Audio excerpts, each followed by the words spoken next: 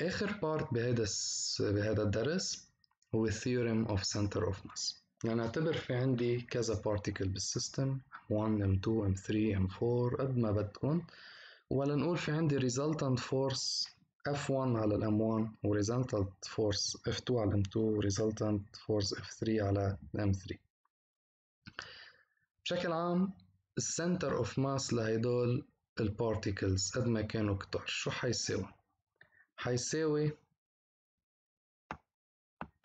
أوكي بس هيد F3 على ال M3 حيساوي M1 R1 زائد M2 R2 زائد M3 R3 على ال total mass لإله فإذا أنا بجمع هيدا هدول ال total mass برمز لهم بحرف M كبيرة. حيصير في عندي ال expression بهيدا الشكل. وبعمل cross multiplication حيصير في عندي total mass مضروبة ب RG بتساوي M1 R1 زائد M2 R2 زائد M3 R3 ليك شو بدي أعمل هون؟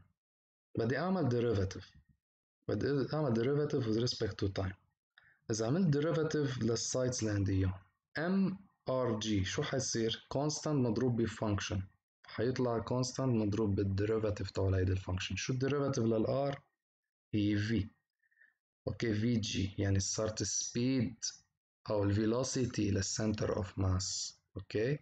و R1 بتصير V1 R2 بتصير V2 R3 بتصير V3 فبيطلع الجواب M ضرب VG بتساوي M1 V1 زائد M2 V2 زائد M3 V3 طيب ما حأخلص هون؟ كمان بدي أعمل derivative مرة تانية with respect to time. شو ال derivative لل V بالنسبة للوقت؟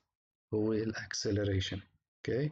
فكمان constant ضرب function بتصير constant ضرب ال derivative لإلها بس اعملها derivative فحيصير عندي M aG بتساوي M 1 a 1 زائد M 2 a 2 زائد M 3 a 3 طيب شو بيقول لي نيوتن second law ال force ال resultant force شو بتساوي؟ mass ضرب شو؟ ضرب ال acceleration. طيب إذا عندي أنا ال mass 1 ضرب ال acceleration 1 شو هيدي فيني أحط محلها؟ فيني أحط محلها F1 اللي هي resultant force عليها نفس الموضوع لل M2A2 نفس الموضوع لل M3A3 طيب كيف بتصير ال expression؟ صارت ال expression بتقول إنه M ضرب ال acceleration لل center of mass شو بتساوي؟ بتساوي جمع ال forces F1 و F2 و F3 هون بستنتج ال theorem of center of mass شو بيقول لي؟ بيقول لي إنه إذا عندك forces بقلب ال system.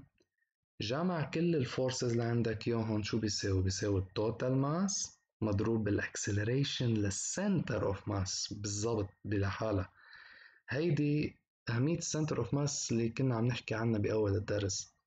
إنه أنا هون إذا كان عندي forces معروفين بقلب السؤال أو بقلب ال given اللي عندي إياه وبعرف ال masses لكل لهم كلهم. صرت قادر حدد ال motion لل center of mass كيف هيك من خلال ال acceleration لإلها أنا بس أعرف ال acceleration لأي point بقدر ساعتها أعرف ال motion كيف. لأنه ممكن تكون يو ار ام يو اي ار ام إلى ما هنالك. okay؟ فهيدا هو ال theorem of center of mass و theorem كتير مهم. وبيمرق معنا بتاني درس بعلوم حياة والعلوم عامة. okay؟ ولازم نكون فهمانينه وعارفينه كتير منيح. من تطبيقات هيدا ال theorem هو إذا أنا كان عندي isolated system. إذا ال system اللي عندي إياه isolated. شو بيعني isolated system؟ كلمة isolated system بتعني إنه منعزل ما في interaction مع الخارج. يعني ما في forces برانية يعني جمع ال forces كلياتهم balance شو يعني balance يعني جمعهم صفر. إذا كان جمع ال forces صفر هيدا شو بيعني؟ بيعني إنه M ضرب ال acceleration تاعت ال center of mass صفر طيب ال mass ما مستحيل تكون صفر معناتها ال acceleration صفر شو يعني ال acceleration صفر؟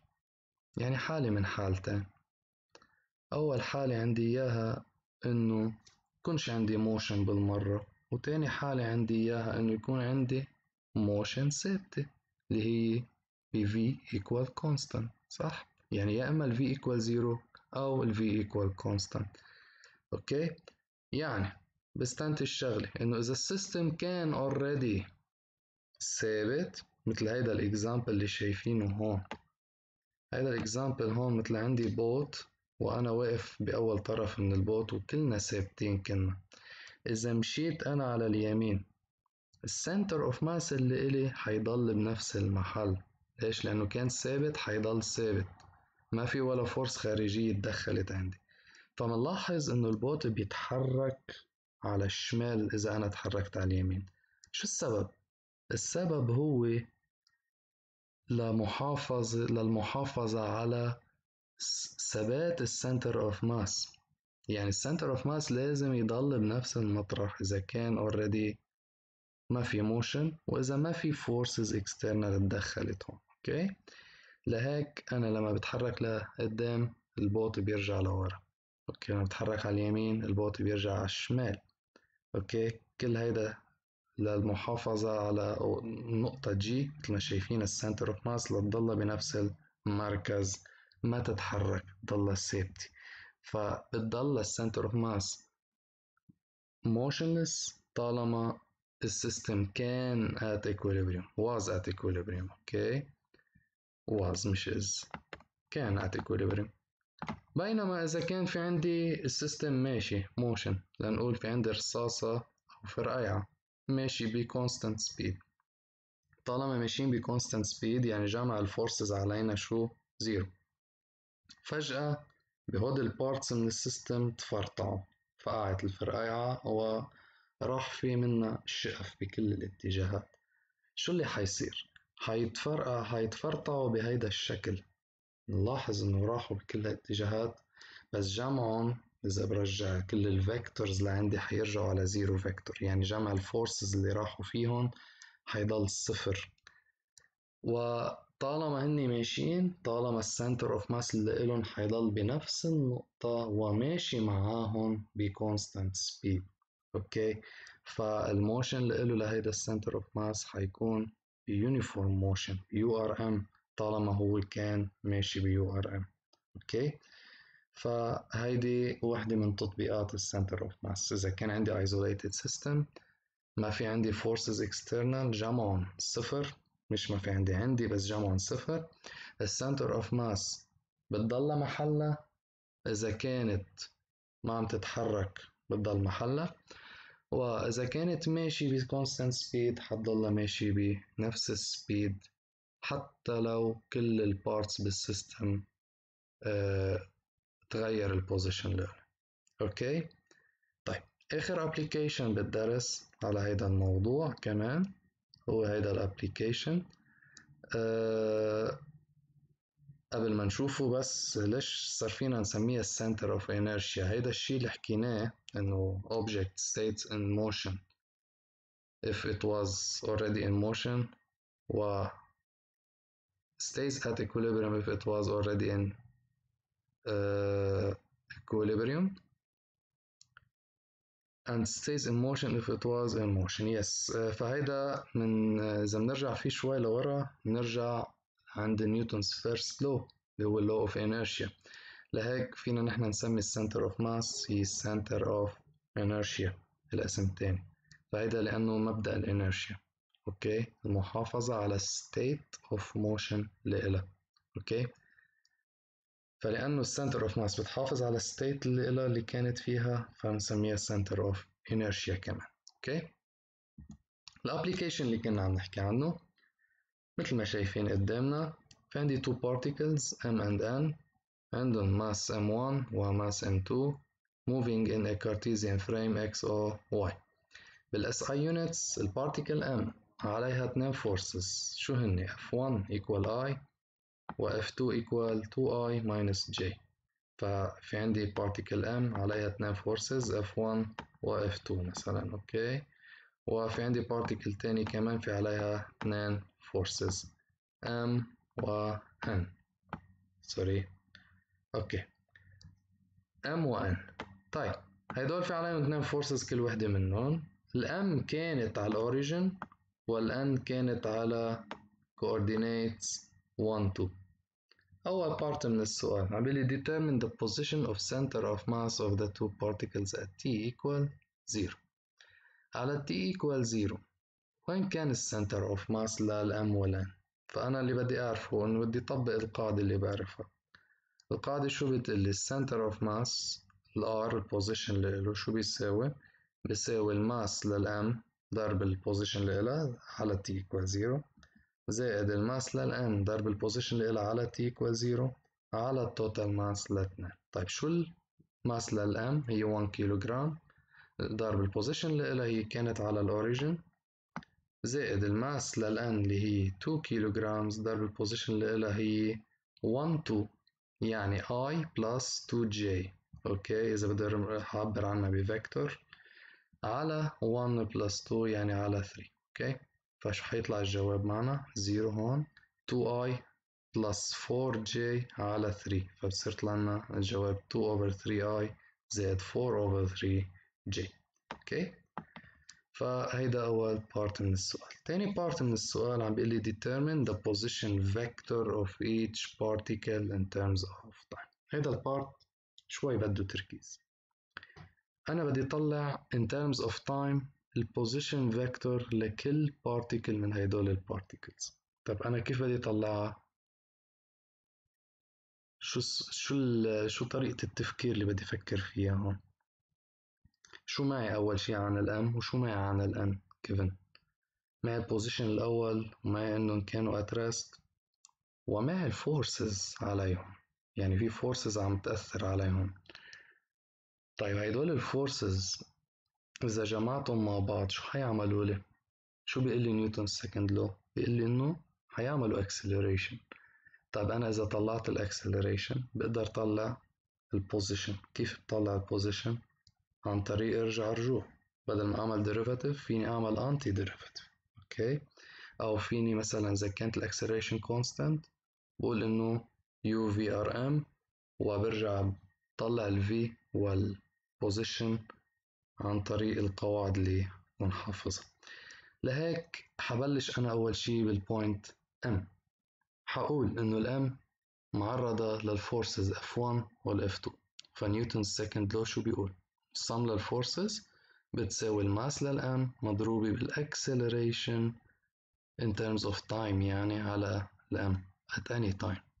أوكي لهيك شو هن ال forces هن F1 زائد F2 بتساوي M1 ضرب A1 يعني صار في نقول إنه ال acceleration شو بتساوي؟ F1 زائد F2 على M1 طيب ال M1 قيمتها 1 كيلوغرام وال F1 قيمتها I وال F2 قيمتها 2I minus J.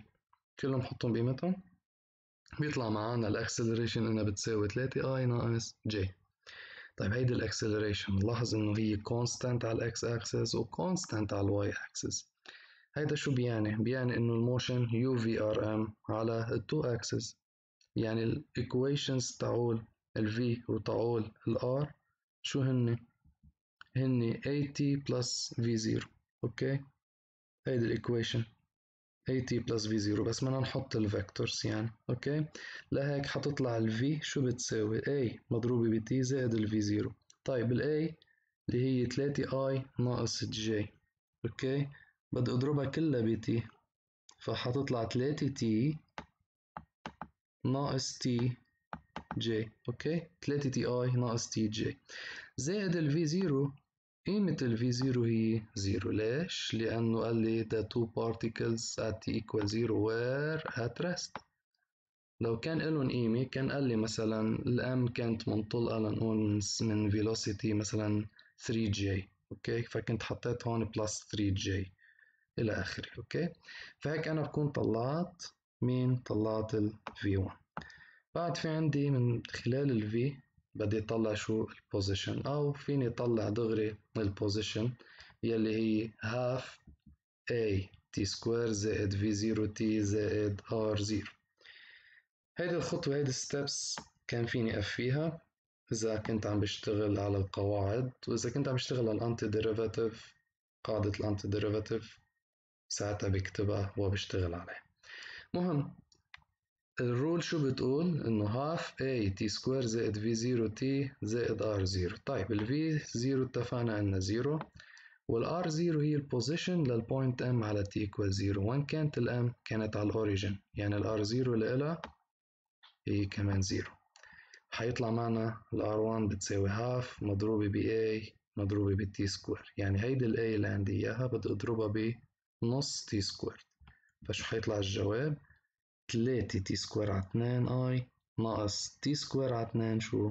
J فهيدي بتكون ال position vector لمين؟ لل point M at any time فعلى طول بأي position بأي وقت محد ما بدي إياه صرت قادر أعرف ال position لإلها لل point M نفس الموضوع نفس المنطق بدي أشتغل على ال point N نفس المنطق إذا فهمنا المنطق تبع ال M تمام إذا ما فهمنا خلينا نتابع مع مع بعض على point N. كمان بدي أطبق نيوتن second law sum لل forces بتساوي ال mass ضرب ال acceleration. أنا بدي أطلع acceleration ومنها أطلع ال position هيك اتفقنا. شو هن ال forces على ال point N هن ال F3 وال F4 فصار عندي ال acceleration بتساوي F3 زائد F4 قسمي M2 أوكي ال M2 قيمتها 2 كيلو جرام ال F3 مثل ما شايفينها 2I minus 3J وال F4 قيمتها J فالجواب حيطلع I minus J أوكي 2I minus 2J over 2 ف 2 هتتقسم على الكل فهيبقى عندي I ناقص J هيدي ال acceleration كمان نفس الموضوع UVRM. فال V 2 حتساوي A T plus V 0 وال V 0 كمان 0 للان لأنه كمان starts from rest فحنضرب ال T بقيمة ال acceleration كلها حتطلع معنا T I ناقص T J وبالنسبة لل position مثل ما اتفقنا هيدي الخطوة فينا نستغني عنها وفينا نخليها ما مشكلة بس خلينا نحط كل شي نحنا كرمال نتعود على آه كيف نطلع كل شي. آه وبالنسبة لل position هي half A T square زائد V zero T زائد R zero هيدي مثل ما اتفقنا zero ولكن هيدي منا zero هيدي قديش قيمتها؟ قيمتها شو؟ 1 2 يعني i plus 2j مثل ما استخدمتها وين؟ بأول part هون أوكي بهيدا ال part استخدمتها فهلا بدي أرجع أستخدمها. لهيك أنا حأضرب ال acceleration. ب half T squared وبدي أجمع معها i plus 2j فحيطلع معنا t squared over 2i minus t squared over 2j زائد i زائد 2j فيني آخد ال i لحال وال j لحال شو حيطلع معنا حيطلع معنا هيدي ال expression هي ال position لل point n with respect to time فهي t square over 2 plus 1i زائد minus t square over 2 plus 2j فهيدا بيكون position لهيدول الاثنين particles with respect to time. Okay. Part C. Deduce the position of the center of mass at any time. طيب نحن طلعنا السنتر اوف ماس ببارت A at t equals 0 طيب إذا أنا بدي طلع ال center of mass at any time بأي وقت بدي إياه شو بستخدم؟ نفس القاعدة ولكن بدل ما أحط ال position على t equals 0 شو بحط؟ بحط ال position على any time شو هو ال position at any time؟ هو هيدول ال position اللي طلعتهم هلأ ال R1 وال R2 أوكي؟ فشو بتصير القاعدة عندي؟ بتصير القاعدة مثل ما شايفين قدامنا هي R لل G شو بتساوي؟ M1 R1 زائد M2 R2 على M1 زائد M2 فكل شي هحطه بقيمته اللي طلع معنا. M1 قيمتها 1 كيلو جرام R1 هيدي ال expression اللي طلعت معنا. M2 2 كيلو جرام وهيدي ال expression لل R2 على M1 زائد M2 هلأ صار معي كل شي صار شغل رياضيات بدي أفرطها كلها سوا. من بعد ما أفرطها حأحصل على هيدول كلهم مضروبين ب I وهيدول مضروبين ب J قسمة ثلاثة فهلأ كل شي t square حجمعه كمان مع بعض. حأحصل على خمسة على اتنين t square زائد اتنين وحأحصل على ناقص تلاتة على اتنين t square. قسمة تلاتة فأنا فيني أقسم كل ال terms على تلاتة. شو حيصير عندي؟ حيصير عندي أول term خمسة على ستة تاني term اتنين على تلاتة okay كلهم مضروبين ب I وكمان في عندي ناقص تلاتة على ستة زائد أربعة على تلاتة okay مثل ما شايفين شغل fraction شغل رياضيات وهيدا بيكون. هيدي بتكون ال expression لل position of the center of mass at any time in terms of t آخر part من السؤال عم بيقول لي برهن ال relation اللي هي ال sum لل forces theorem of center of mass شو بيقول لي sum of forces external شو بتساوي؟ بتساوي ال total mass مضروب بشو؟ بال a G ال acceleration لل center of mass acceleration لل center of mass كيف ممكن نجيبها؟ نحن طلعنا ال position لل center of mass كيف ممكن نطلع acceleration لل center of mass؟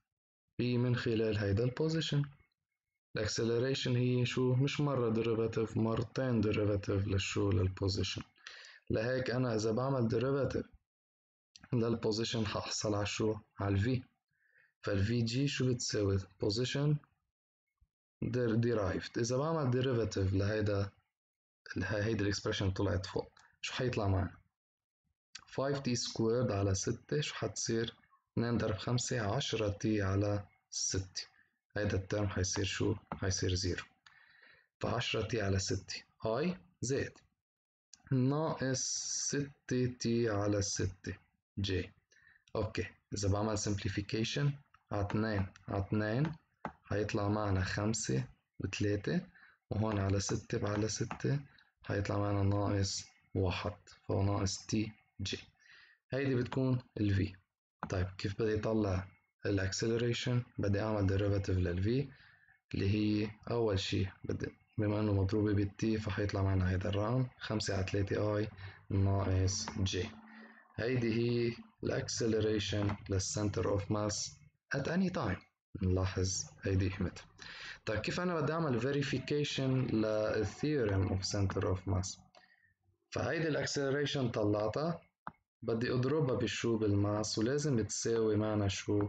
جمع ال forces فهات لنضرب بال total mass هيدي ال acceleration. total mass قديش قيمتها؟ واحد زائد اثنين يعني ثلاثة فإذا بضرب ال acceleration بال total mass حيطلع معنا خمسة ناقص ثلاثة بال J خمسة بال I وناقص ثلاثة بال J فهيدي mass ضرب ال acceleration. طيب جمع ال forces أنا معي كل ال forces اللي هن ال F1 وال F2 وال F3 وال F4 okay. فهيدول كانوا بال given موجودين. هيدي كانت ال F1 هيدي كانت ال F2 هيدي كانت ال F3 وهيدي كانت ال F4 بال given موجودين. إذا بجمعهم بيطلع جوابهم 5 I ناقص 3 J. شو منلاحظ؟ منلاحظ إنه الجوابين نفس الشي ولازم يكونوا نفس الشي كرمال نتأكد من جوابنا إنه صح. يعني مثلا نقول قال لي طلع ال acceleration وما سألني هيدا ال part ما سألني عن هيدا ال part. انت كيف فيك تعرف انه جوابك صح؟ فيك تعرف باستخدام ال theorem of center of mass لازم يوصلك لنفس الجواب. فبما انه نفس الجواب هيك بنكون شو؟ عملنا verification فصارت verified okay؟ وهيك بيكون خلص هيدا الدرس وخلص خلص الابليكيشن وخلص ما الدرس كلياته. for any questions you can contact me okay أي حد عنده أي سؤال في يسألني ويعطيكم ألف عافية